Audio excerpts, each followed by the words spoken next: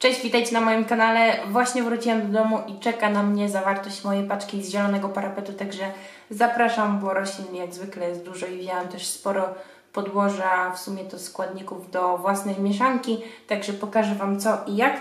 I najpierw może zaczniemy od tego, co kupiłam w mieście, niekoniecznie właśnie z zielonego parapetu. Chciałabym Wam to przy okazji pokazać. Taka doniczka przepiękna niebieska ceramika. E, na stałe jest przymontowana tutaj właśnie e, spodek. 20 zł kosztowała i w środku mamy różową e, smużynę. Kupiona w Leroy Merlin. Kosztowała coś chyba około 20 zł. Pink, coś tam ona się nazywa. Zostawiam Wam nazwę w opisie.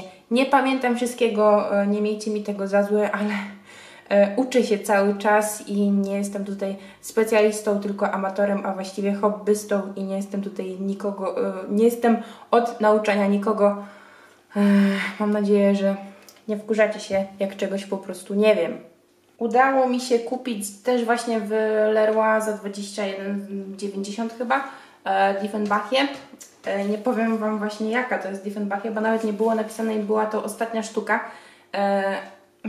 To nie jest chyba Kamila, nie jestem teraz pewna, ale ma przepiękne liście. Tutaj jeden a, jest taki pożółkły, więc ona była albo przelana, albo początek tutaj jest grzyba i będę musiała tego liścia najprawdopodobniej uciąć. Ten liść to raczej y, uszkodzenie mechaniczne, zobaczymy, ale ja właśnie miałam Diefenbachie, bardzo szybko ona rośnie, Natomiast ją przelałam, a później ciężko mi było właśnie się pozbyć e, tych e, liści porażonych.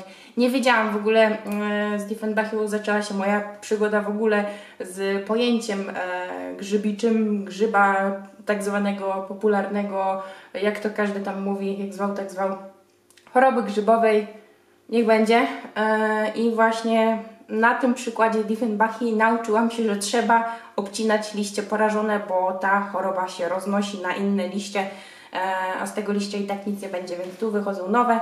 Jest to duża sadzonka, w ogóle roślina rośnie też dosyć duża. Widziałam na zagranicznych e, kanałach, że liść potrafi być 4-3 razy taki jak e, dłoń, także są to dosyć duże rośliny, a właściwie to giganty. Oczywiście bardzo trujące, e, ale słuchajcie, nie tylko Diefenbachie są trujące, tak samo i monstery, fikusy i tak dalej, więc jak ktoś ma zwierzęta, to uczulam. Także tak tylko mówię, natomiast zakochałam się i jest niewiarygodnie piękna. Ok, i zaczniemy w ogóle ten haul od y, rośliny, przez którą złożyłam to zamówienie. I jest to Sansevieria, y, a właściwie Podobno już teraz Sansevierię e, zalicza się do dracen, także widzicie, tutaj z roślinami jest różnie, bo cały czas te informacje się zmieniają. E, rośliny też zmieniają właśnie gatunki, grupy, rodziny, I don't know, e, ale jakby cały czas ten świat e, roślin jest e, odkrywany i nie wszystko jeszcze wiemy, także Powiem Wam, że ja też e, pisząc właśnie ściągi roślinne albo w ogóle czytając o roślinach, e, przygotowując się do przesadzania i w ogóle, żeby coś, czegoś się dowiedzieć, czytam w necie co najmniej 3 do 5 różnych stron i na każdej stronie jest praktycznie co innego napisane a propos uprawy roślin, także nie ma jednoznacznej odpowiedzi. Troszeczkę trzeba zgadywać, ale masoniany to, o Jezu, zaraz sobie wydubię oczy nimi. To są właśnie takie wiosła, przepiękne rykinie, duże, e, płetwy, e, ogromniaste właśnie mm, piękne rośliny e, z takim ubarwieniem i troszeczkę ten kolor wchodzi z taką, w taką zieleń granatową. Bardzo piękne, super wyglądają w ogóle pojedynczo w donicach, bardzo często są tak sprzedawane. I to jest większa sadzonka z zielonego parapetu. Wzięłam największą, jaka była nie żałuję. Była droga, ale jest wspaniała. No, robi wrażenie. Star Canary Sansevieria i to jest, powiem Wam, maluszek. Ona kosztowała coś chyba około 4 dych albo 3, już nie pamiętam, bo była chyba na nią też promocja, jak ja ją kupowałam. E, ale jest to maluszek, to jest e, malutka doniczka. Nowe liście są żółte, wychodzące właśnie z tej rozety. No i jeszcze to taka fajna obwódka naokoło, wyjątkowo piękna roślina. No i jej zaraz znajdę jakiś mały domek. Kolejna Sansevieria i to była chyba Comet Parrot, nie, Comet Green Parrot, o tak. E, troszeczkę inaczej sobie ją w ogóle wyobrażałam patrząc na zdjęcia, ale jak już jest, to jest i tak, znajdę jakąś doniczkę, też będzie się fajnie prezentować. Uwielbiam sansy, bo one są mało wymagające. Zielistka e, to jest lemon, akurat e, zielistka, odmiana. I e, stwierdziłam, że nigdy nie kupię zielistki. Nie podobają mi się te z białym, w ogóle jak błyszczą jej liście. Piękna jest. Ale ta zwykła skradła moje serce. Była jeszcze taka fajna, śmieszna, e, z kręconymi listkami.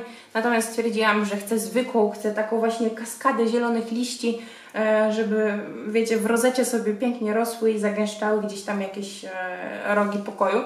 No i ta roślina jest w ogóle mało wymagająca i od dawien, dawna nam znana, także poczytam sobie i będziemy tutaj ogarniać zaraz dla niej domek, ale też jest dosyć duża, a nie była droga w sobie.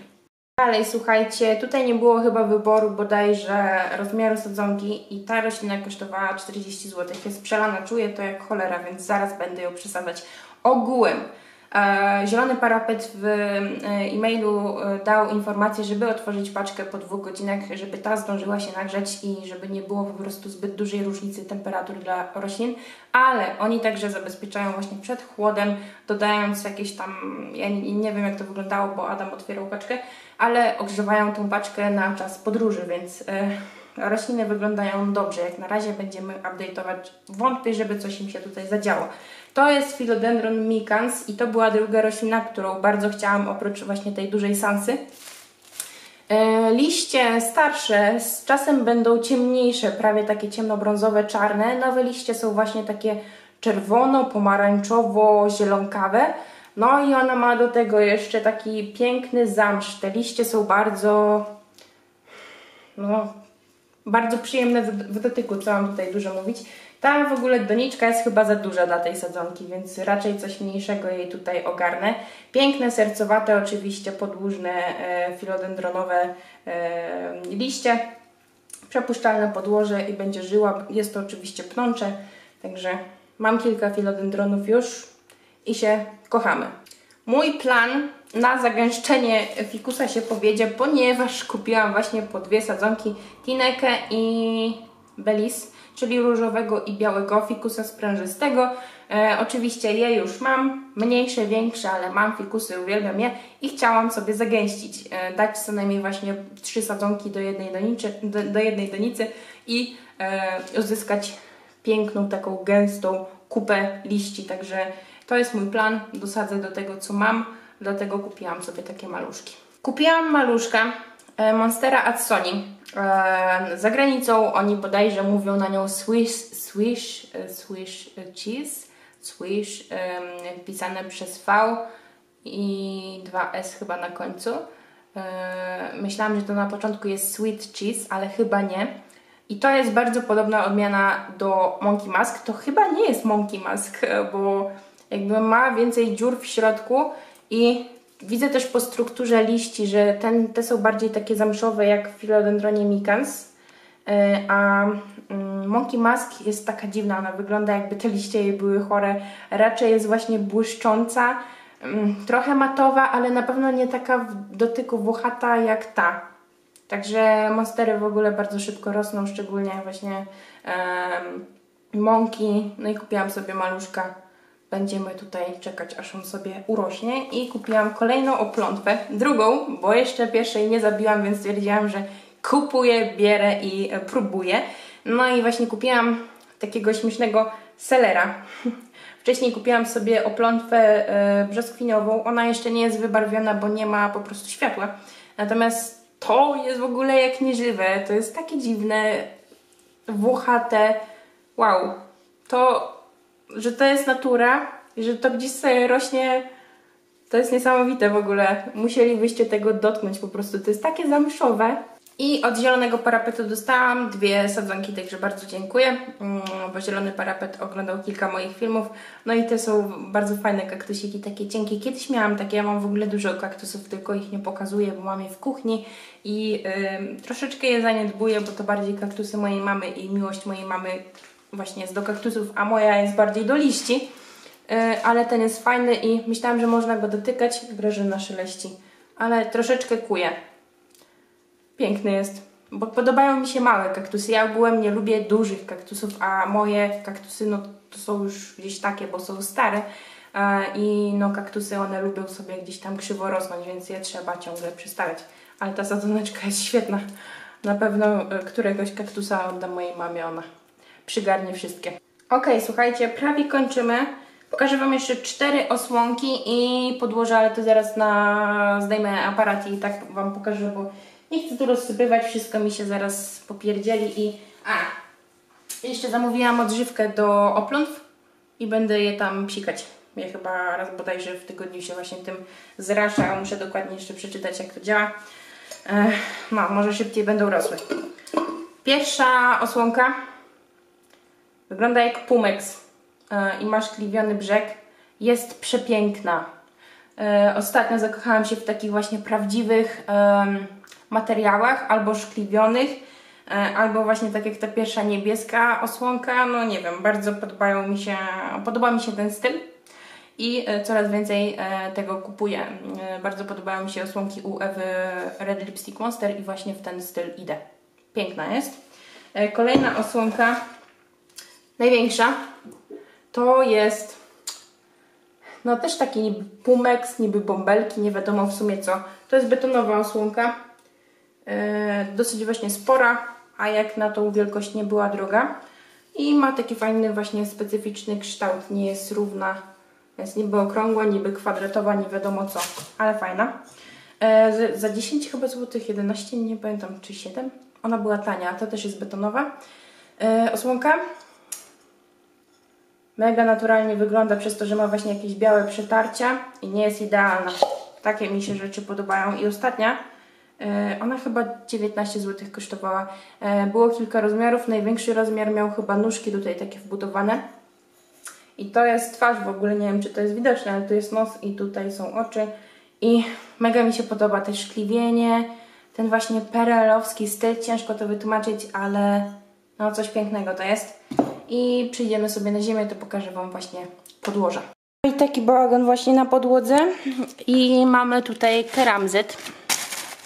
Tak on wygląda w środku. Zwykły keramzyt, mniejszy. Jest właśnie fajny do, jako dodatek. Pumek wulkaniczny, tego jeszcze nie miałam, ale to spróbuję przy kaktusach. Tu mam zrębki kokosowe do właśnie mieszanki. Dalej jest e, też pumek wulkaniczny, właśnie dwa opakowania wziąłam. E, podłoże kompostowe e, i perlit. I jeszcze tutaj jest nawóz do mieszanki właśnie do podłoża. No i to by było na tyle. Dziękuję Wam za oglądanie. O, proszę bardzo, tak wygląda to wszystko za zaplecza. No i piękna smurzyna różowa, jak nieprawdziwa. Dziękuję Wam, trzymajcie się ciepło, do zobaczenia w kolejnych filmach. Buziaki, cześć!